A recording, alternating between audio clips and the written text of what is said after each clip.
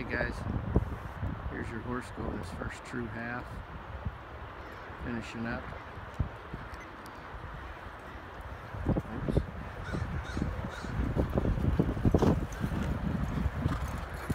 I got 50.75